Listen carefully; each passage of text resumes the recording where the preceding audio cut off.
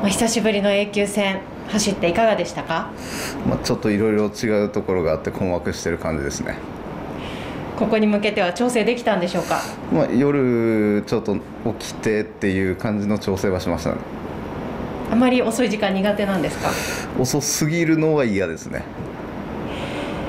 今のコンディション面はいかがでしょうか？そうですね。前回が悪かったんですけど、まあ、それよりはまだいいかなって感じではあると思いますでは初戦どう戦うんでしょうか？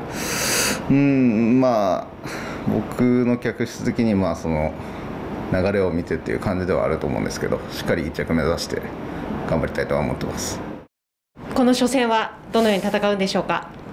えー、まず、えー、やっぱ相手も強いのでしっかりあのいけるタイミングを逃さず力を出し切りたいと思います3分戦なんですけど意識することはいかがでしょう？そうですね。3-3なのであの勝負どころは後方にいるとちょっとチャンスがないので前々にいたいと思います。今年はどんな目標を上げてるんですか？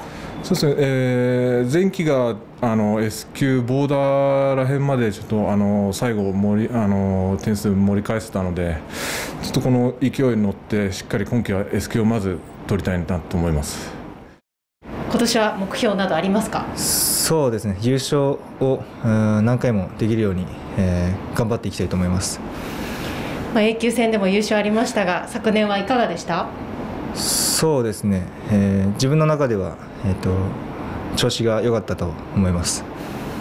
レーススタイルは今どんな感じでしょう？そうですね。バッ,、まあ、バッグを取る意識をして頑張ります。